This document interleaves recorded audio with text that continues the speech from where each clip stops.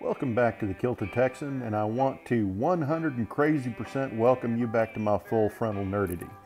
So, what we're doing here today is we're driving from Nashville down uh, back into Central Texas. I uh, went up to see my daughter, and uh, we, you know, this is basically documentation of the road trip. I want to make it a little bit more scenic. Also, give y'all confidence in the fact that you can road trip these cars. Uh, this is one of my favorite road trip cars, but uh, as you can see there, we started off at an EA station in Nashville. It's a little bit east of downtown. And because our hotel, which has a level two charger and a valet service that you pay an insane amount of money to have them park, failed to charge our vehicle. So I'm a little upset about that, but we'll let that go at this point. But wanted to show you some of the some of the actual scenes, you know, the, the scenic runs that you can that you can see when going from Nashville down to uh, down to Texas.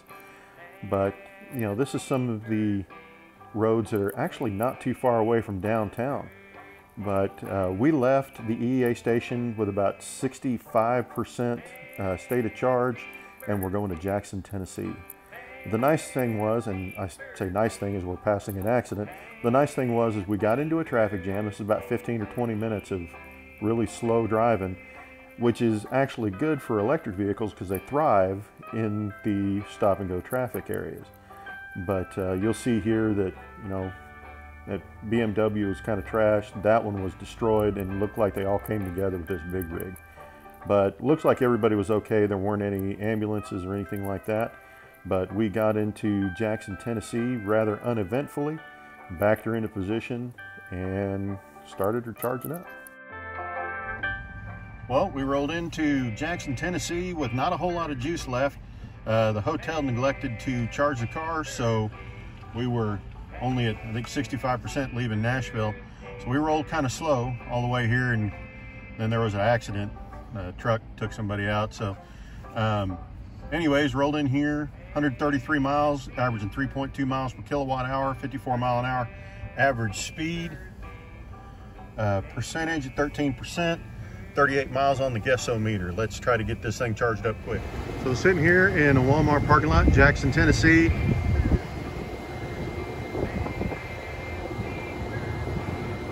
We are ramping up.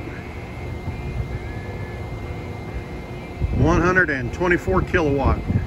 That is what I like to see. I am a happy camper. We'll get out of here going to 75% to make it all the way to Forest City, Arkansas. And uh, well, that's pleasing to me. So hopefully this leg back or this run back to Texas will be a little bit less disappointing charging speed wise. As you can see, here we are making it into Forest City and you can see the Walmart. It's a little bit off the beaten path, maybe about three quarters of a mile off the highway there. So, but you can see the chargers are on the far right hand side of the parking lot and it's a pretty substantial walk over to the Walmart, but you know, they're pretty well stocked up with all the good facilities. There's also a restaurant or two in the near vicinity if you want to walk to it and maybe spend a little bit more time charging here, but they got you pretty well covered here as well. A little less so than Jackson, but not too bad. Well, we made it from uh, from Jackson, Tennessee to Forest City, Arkansas and we did 2.8 miles per kilowatt hour, averaging 67 miles an hour. As a total of 127 miles, did it in an hour and 55 minutes. Uh, let's see, we're down at 17%, 37 miles remaining on the guessometer. And let's see, we are supposed to be charging up here. We're supposed to go to, let's see,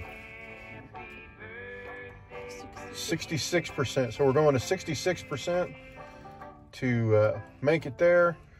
And we're gonna go ahead and charge up, see what kind of speeds we get. We're here in Forest City and this is the only charger available. It is the CHAdeMO. I'm sorry about that. It looks like we are ramping up. We're at 95 kilowatt. Not perfect, but I think that's what we got last time we were here. So she's maxing out a little low, but uh, well, we're happy we're at least in the 90s because I uh, had one location where we could only get 36 and that sucks. But yeah, the rest of these are all showing unavailable. And this is here in Forest City, Arkansas, which I'm sure is a hotbed of electric vehicles and everything else. So I think we know why that's probably out. But she's still running strong. We're pressing on with a great exuberance back home to the great state of Texas. We'll see you when we leave. Again, we're going to 66%, so not too long, just to get us to Little Rock. Now, I did go ahead and report to EA the fact that those other three chargers were out. I mean, it's just a good practice. Uh, you know, if you go to a particular charger and several of them are offline, it's not a bad idea to go ahead and report them. I mean, you think of it this way, the more reports they get, the more they see that they're being used, so they might be more inclined to actually fix them. But here's Little Rock. This is right off the highway, um, immediate turn, you know, off of there, and the Walmart is uh, just on the south side of this particular road. You pull right in here into the parking lot. It actually has pull through. Uh, it's a pull through style, so if you happen to be an EV that's got a, a trailer on it, uh, it's perfect for that. Um, and there's a couple of restaurants in, you know, right there. If you don't mind walking across the road, there's a McDonald's and, you know, all sorts of good stuff. So this particular Walmart is pretty well uh, set up, again, for the trailer type EVs. So you're good there. Right, we arrived in Little Rock at 2358 at 1158. Uh, total distance traveled, well, this is all here, let's turn this back. Our total distance travels 99 miles. Did so in an hour and a half, uh, two and a half miles per kilowatt hour at 69 mile an hour average. Uh, we did all this 14% remaining, 34 miles on the guessometer. Uh, I think we're going to another 66% to make it down to Hope, Arkansas. So uh, that's where we're headed. So here in Little Rock, we are starting to charge. We are ramping up pretty solid.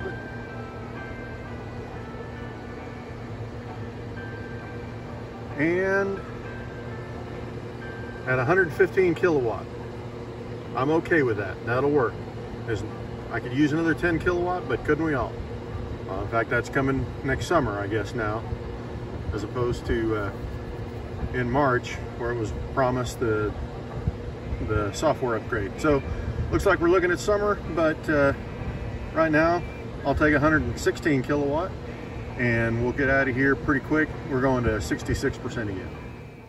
Now charging up in Little Rock is never my favorite. Usually if something's gonna go wrong, it's gonna go wrong there. It's about as pleasant as an outdoor porta potty at a burrito festival in the middle of summer. So not my favorite. But this one was uneventful and then we just pressed on with a great exuberance toward Hope, Arkansas and here are some of those pretty lights from Little Rock in the middle of the night. Well, we made it to Hope, Arkansas. Uh, looks like our traveling was 2.6 miles per kilowatt hour, average 63 mile an hour. It's 100 miles, dead on. Hour and a half to get here. Uh, we did have a have a bathroom stop, so no big strains there, but um, arrived with 14% and 34 miles on the guessometer. Uh, on this one, uh, I think we're going, I believe, to like 57%. 61. Oh, 61%. So we're going to 61% and uh, that'll take us to uh, Mount Pleasant. So here we go. Well, we are ramping up. Hopefully we beat 36 kilowatt. Okay, Past that, 83. Yes, that's what I'm looking for. Out, Foxtrot stand. So we are now charging at 110. So we should be out of here pretty quick. Well, here at Hope, Arkansas, I went from that 110 that we saw all the way down to um, just down to uh, 36 kilowatt after like just a couple minutes. So I just unplugged and replugged in. I'm really hoping we get better than that. Because going to 61% at 30 some odd kilowatts gonna suck.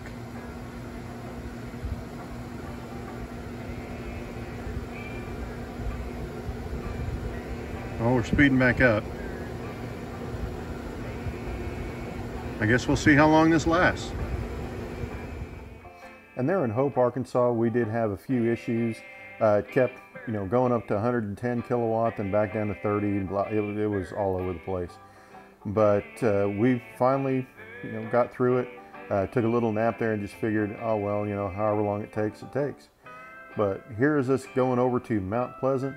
Uh, this particular charging station is quite a fur piece off the road. So, you know, if you have the ability to charge up far enough and bypass this one, you know, shotgun wedding or no, you might want to brave the buckshot and leave this one at the altar if you can. But uh, if you can bypass it, do it and just go on to Royse City. But you do have to go up to about a 90 some odd percent charge to go from Hope to Royse City. And I just wasn't really prepared to do that.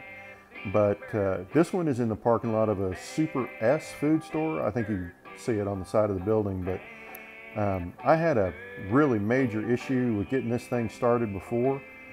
But uh, as you can see here in just a second, looks like we all kind of lucked out on this particular run because uh, it was way better.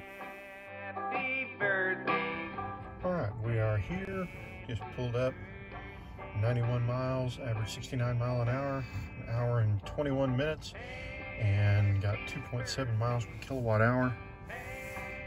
And this is Mount Pleasant, and it's 4.02 in the morning. We're down to 15% on battery, 36 miles showing remaining on the guessometer. Uh, this one was kind of tough to start last time, so let's see if I can do any better. Looks like this one started right up and pushed us right to 126 kilowatt. So we are cooking with gas.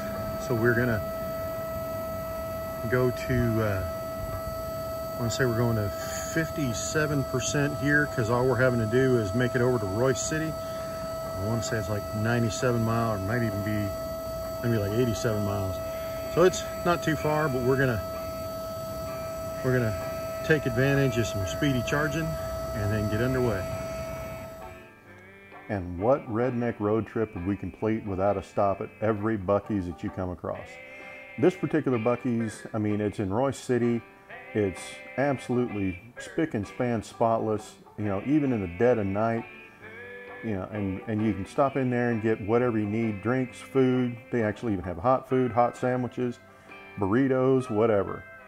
But uh, we stopped in there and then went over to Whataburger and I got myself a Whataburger breakfast sandwich because uh, it was, you know, late enough in the morning. And if you'll notice, the clock in the lower right's been an hour off. This was right after the time change, so that's I hadn't set the the dash cam uh, clocks right. But anyways, so we just pulled over here into these charging spots with my Whataburger sandwich and I think uh, I don't remember what I had from Buc-ee's, but I had a drink from Buc-ee's and a big, great big drink from Buc-ee's and some beaver nuggets, which if you've ever had them, if you've never had them, you probably want to try them. But uh, this was a pretty easy stop. Well, we rolled in here in Royse City after an hour and 20 minutes and uh, got a little Whataburger here. So that's why my average mile per hour is down to 65 mile an hour because uh, basically I got her up on the highway and I just pegged her at 80 to get all the way here. That's why we're seeing 2.4 miles per kilowatt hour only after 86 miles.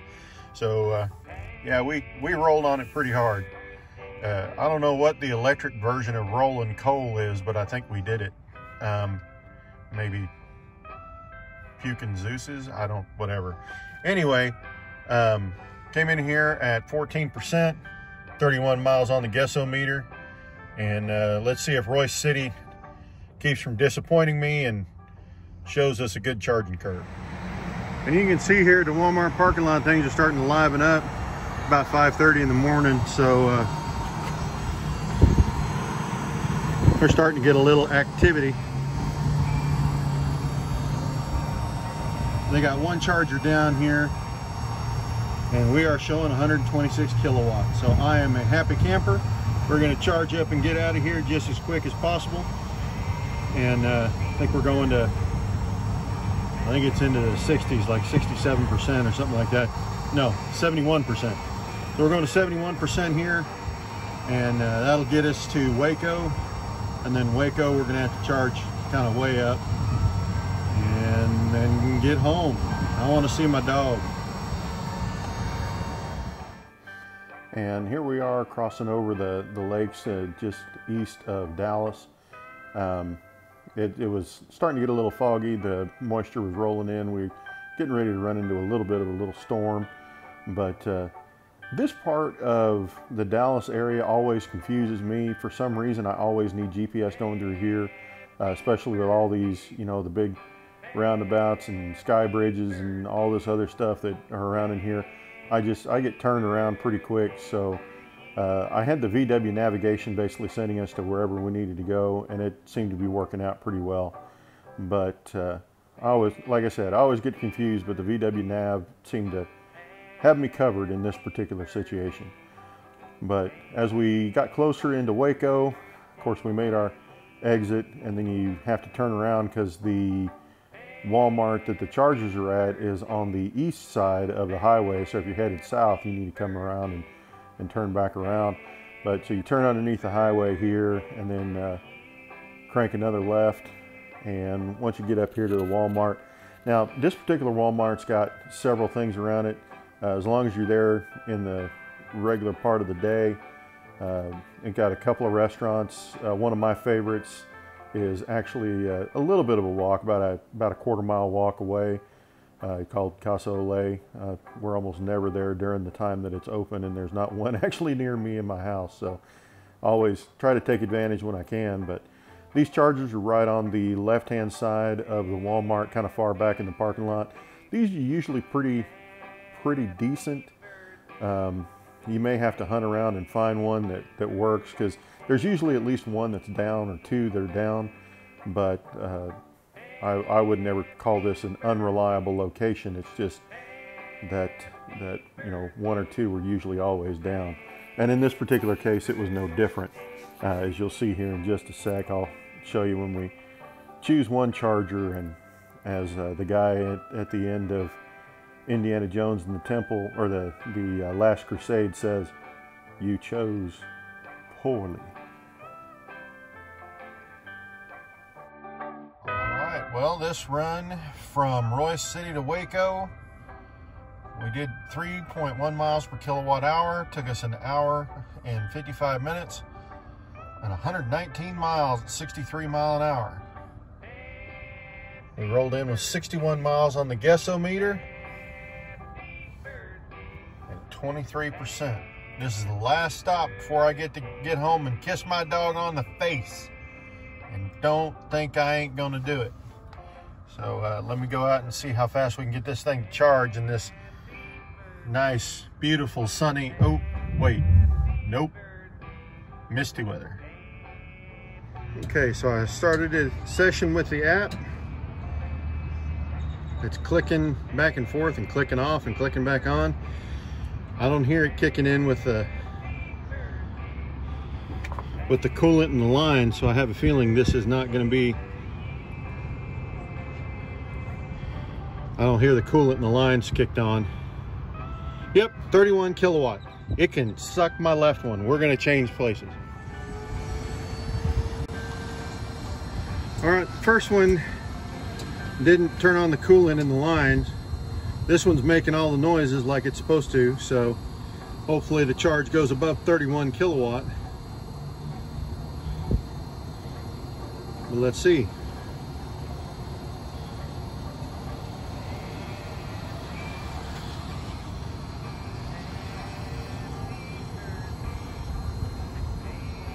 Maybe. 114 that'll work. Again this is the last stop. We're supposed to go to 91 percent to make it home. Not a whole lot between here and there so uh, we're gonna let her eat. And it was a pretty uneventful run from Waco down to Austin down to home. Um, here you can see going through Austin. We went through here and it wasn't at peak times or else we would have been stop and go. I just let the travel assist handle pretty much everything. But I'm, what I'm hoping, or my goal of this particular video, hopefully it gives you some you know, confidence in the fact that you can road trip these cars. It's not impossible to do it. You do need to take your time, and it does take a little while longer. Uh, right now, with the gas prices the way they are, it is cheaper to do so, but that could change at any notice, uh, at a moment's notice. So, you know, I wouldn't rely on that the whole time. Um, other than that, um, if you're gonna crash, crash into that like button and subscribe for more. I'm doing always doing different shenanigans with this particular car or with my diesel excursion or my plug-in Cadillac or my 66 Mustang. So we'll see you in the next one. And like I said, hopefully you learned something or perhaps maybe I've given you a little bit of confidence to prove to you that these things can be road tripped and could be really reliable. This is actually my favorite road trip car. And like I said, I've got a diesel excursion and that thing is nice and comfy and it actually is less comfy than this particular ID4. So we'll see you in the next one.